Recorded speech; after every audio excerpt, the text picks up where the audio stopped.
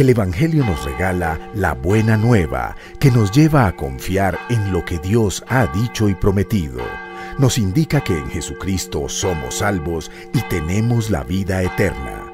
El Centro de Comunicaciones de la Diócesis de Armenia les anuncia y predica el Evangelio de hoy. Lunes 29 de noviembre. Del libro de Isaías. Visión de Isaías, hijo de Amós, acerca de Judá y de Jerusalén. En los días futuros estará firme el monte de la casa del Señor, en la cumbre de las montañas más elevado que las colinas Hacia él confluirán todas las naciones, caminarán pueblos numerosos y dirán, Venid, subamos al monte del Señor, a la casa del Dios de Jacob. Él nos instruirá en sus caminos y marcharemos por sus sendas, porque de Sión saldrá la ley, la palabra del Señor de Jerusalén. Juzgará entre las naciones, será árbitro de pueblos numerosos. De las espadas forjarán arados, de las lanzas podaderas. No alzará la espada pueblo contra pueblo, no se adiestrarán para la guerra. Casa de Jacob, venid, caminemos a la luz del Señor. Palabra de Dios. Te alabamos, Señor. Vamos alegres a la casa del Señor. Qué alegría cuando me dijeron, vamos a la casa del Señor. Ya están pisando nuestros pies tus umbrales, Jerusalén. Vamos alegres a la casa del Señor. Jerusalén está fundada como ciudad bien compacta. Allá suben las tribus, las tribus del Señor. Vamos alegres a la casa del Señor. Según la costumbre de Israel, a celebrar el nombre del Señor. En ella están los tribunales de justicia en el palacio de David. Vamos alegres a la casa del Señor. Desead la paz a Jerusalén. Vivan seguros los que te aman. Haya paz dentro de tus muros, seguridad en tus palacios. Vamos alegres a la casa del Señor. Por mis hermanos y compañeros voy a decir, la paz contigo. Por la casa del Señor nuestro Dios te deseo todo bien. Vamos alegres a la casa del Señor. El Señor esté con vosotros. Y con tu espíritu. Anuncio del Santo Evangelio según San Mateo. Gloria a ti, Señor. En aquel tiempo, al entrar Jesús en Cafarnaúm, un centurión se le acercó rogándole, Señor, tengo en casa un criado que está en cama paralítico y sufre mucho. Jesús le contestó, voy yo a curarlo. Pero el centurión le dijo, Señor, no soy digno para que entres bajo mi techo. Basta que lo digas de palabra y mi criado quedará sano porque yo también vivo bajo disciplina y tengo soldados a mis órdenes y le digo a uno ve y va, al otro ven y viene, a un criado hace esto y lo hace. Al oírlo Jesús quedó admirado y dijo a aquellos que le seguían, les aseguro que ni siquiera en Israel he encontrado en nadie tanta fe. Les digo que vendrán muchos de oriente y occidente, y se sentarán con Abraham, Isaac y Jacob en el reino de los cielos. Palabra del Señor. Gloria a ti, Señor Jesús. Vamos iniciando con toda la iglesia este tiempo santo del Adviento. Nos va a estar acompañando durante estos días de semana el libro del profeta Isaías, el gran profeta del anuncio mesiánico. Hoy leímos la introducción del capítulo segundo, donde Isaías tiene una visión que tiene que ver con la tribu de Judá, esa zona, cuya capital era Jerusalén. Y habla de cómo muchos pueblos irán subiendo sus montañas a contemplar la casa del Señor. Es una imagen bien particular que no habla solo de la geografía, sino de toda la vida espiritual. En la mentalidad hebrea, todo aquel que se quiere encontrar con Dios tiene que subir la montaña, hacer un proceso de elevación, de abandonar el llano, que es la vida común de todos los días, y elevarse a una dimensión diferente. Y por eso en todas las apariciones o manifestaciones de Dios en el Antiguo Testamento y en el Nuevo Testamento, todas se dieron en montañas. En un monte Dios le exige a Abraham que sacrifique a su hijo y Dios se le aparece. En un monte Dios le entrega a Moisés la ley, los mandamientos. En un monte Jesús da toda la instrucción de su doctrina, en el monte de las bienaventuranzas. En un monte el Señor se transfigura, en un monte es crucificado. Y por eso muchos místicos espirituales de la vida cristiana nos hablan de ese proceso de elevación. La liturgia en medio de la sabiduría apegada a la escritura, en los buenos templos como este siempre exigía que no podían estar al nivel de la plaza, tenían que tener unas escalas de ascenso, como el templo de Jerusalén.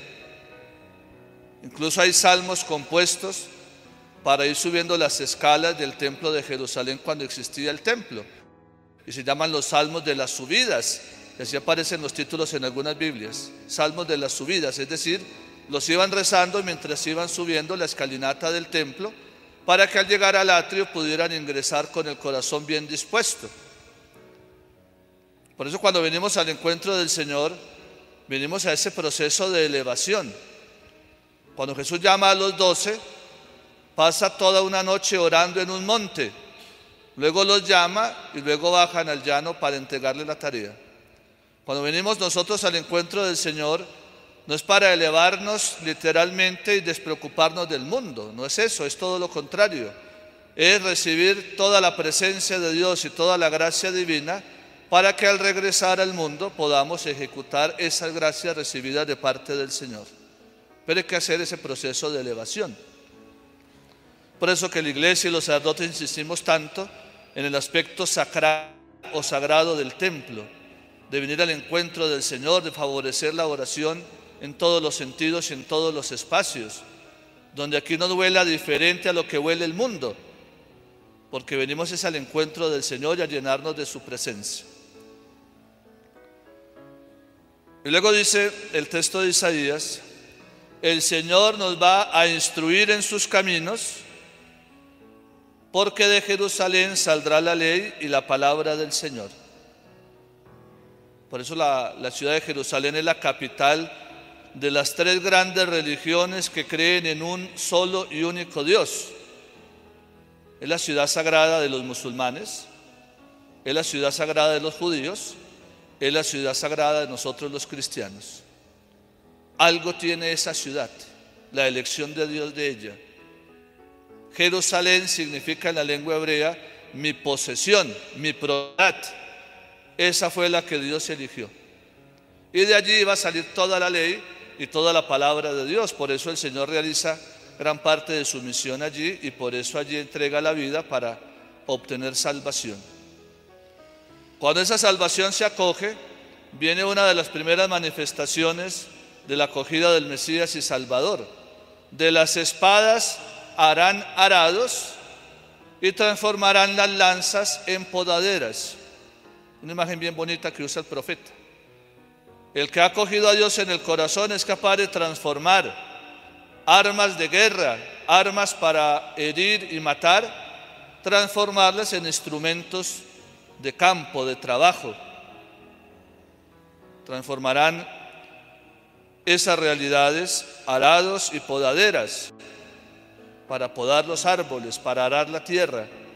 Ese proceso de transformación donde uno sea capaz de soltar la violencia que lo acompaña. Tal vez muchos de nosotros no hemos empuñado un arma para hacerle daño a otro, pero sí lo deseamos en la mente. Hemos masacrado a mucha gente con nuestros pensamientos. El tiempo de Adviento y Navidad es un tiempo para soltarnos definitivamente de toda la mentalidad agresiva y de muerte y mejor eh, dedicarnos a edificar, a construir, a plantar. Ese sería un buen fruto del Adviento de este año. Luego en el texto del Evangelio escuchamos en el capítulo octavo de San Mateo un milagro muy particular que hace Jesús, particular por todos los aspectos. Primero porque es un militar, un centurión romano, que tenían fama de ser ateos y obviamente no creer en las cosas que creían los judíos, que eran tonterías para muchos de los romanos. Y ahora un centurión que tenía rango a nivel militar, desesperado se acerca al maestro Jesús, pidiéndole un milagro. Tengo un criado en casa muy enfermo, ayúdame. Ningún militar le había pedido ayuda. Y llama la atención como en los evangelios Aquellos que parecían más ateos acogían con más facilidad la fe. Así termina uno de los evangelios, cuando hacen con la lanza, traspasan el costado de Jesús y sale sangre y agua. Es también un soldado romano que estaba custodiando el cuerpo el que hace la profesión de fe. Realmente este hombre era el Hijo de Dios, un pagano. Por encima del, reconocimiento que pudieron haber hecho los judíos, fue un pagano el primero en reconocer en el Evangelio que era el Hijo de Dios. Y pues Jesús inmediatamente dice, voy a curarlo. Y viene lo otro particular. Manifiesta una fe, una confianza plena en la palabra de Dios y le dice, Señor, yo no soy digno de ti. Una frase que la iglesia conservó para la liturgia, para antes de la comunión. No soy digno de que entres en mi casa. Ninguno de nosotros es digno de Dios. Ninguno es digno de recibir el cuerpo de Cristo, ninguno. Pero es Dios el que nos hace dignos por su gracia y por su santidad. Y le agrega el centurión, basta que lo digas de palabra y yo sé que eso se cumple.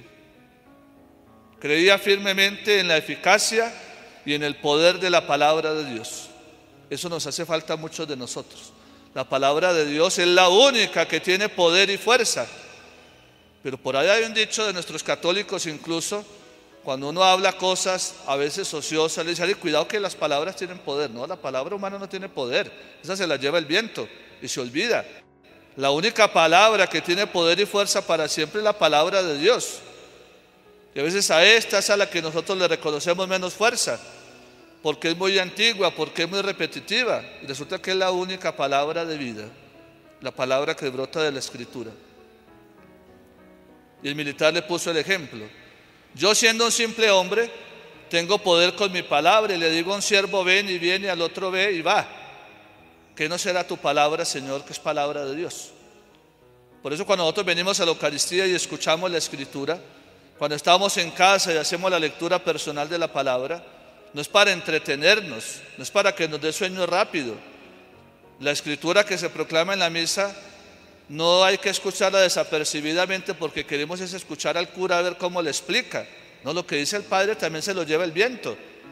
Lo importante es escuchar la palabra de Dios. Por eso cuando ustedes se sienten a escuchar las lecturas, cuando se ponen de pies para escuchar la proclamación del Evangelio, tienen que pedirle al Señor que les dé pleno conocimiento y certeza para estar atentos, porque la palabra crea fe y la palabra salva. Lo demás se lo puede llevar el viento. Pero a veces en esa escucha de la palabra nos distraemos demasiado, porque estamos la mitad del tiempo acomodándonos en la banca, la otra mitad mirando los adornos de Navidad, y cuando menos pensamos dijeron palabra de Dios y listo, y se fue. Y ni nos dimos cuenta qué pasó. Eso no solamente por distracción nuestra, esa es la insidia del maligno que arrebata la palabra sembrada y estuvo en la parábola del sembrador. Aquellos que le escuchan en forma desatenta, viene el espíritu del mal y arrebata la palabra porque no le interesa que la palabra haga eco en el corazón y eche raíces porque nos salvaría. Entonces el espíritu del mal quiere arrebatar. Santa Teresa de Jesús recomendaba al iniciar la Eucaristía pedirle al Señor, Señor, amarra y ata la loca de mi casa, que es la imaginación, para estar atento a la celebración eucarística, para que no se pierda ninguna de las gracias que aquí se reciben. Es por eso que la iglesia también nos pide, al venir a la Eucaristía, llegar con tiempito, sentarnos, hacer nuestra oración personal, invocar el Espíritu Santo para que se disfrute el sacramento es decir, cuando comience la Eucaristía estamos con los cinco sentidos puestos en lo que el Señor tiene que decirnos y en las gracias que Él va a derramar. termina el Evangelio con esta alabanza que hace Jesús de este hombre. Les aseguro que ni siquiera en Israel he encontrado a alguien con tanta fe. Con la confianza puesta en el Señor, con su ser y reconocimiento de altura, de indigno. Y por eso siempre un buen proceso espiritual comienza cuando uno reconoce su poquedad, su pobreza, su pecado. Con ese Dios tiene muchas cosas que hacer. Es por eso que la Eucaristía, sacramento central de la iglesia, siempre comienza, reconozcamos nuestros pecados. Y aquel que reconoce su pobreza, con ese Dios derrama las gracias que tiene preparadas. Pero cuando con mentalidad prepotente y soberbia nos cuesta reconocer que somos necesitados de Dios, a esos Dios les resbala y la gracia no obra, porque están tan llenos de sí mismos que ya en el fondo ni necesitan de Dios.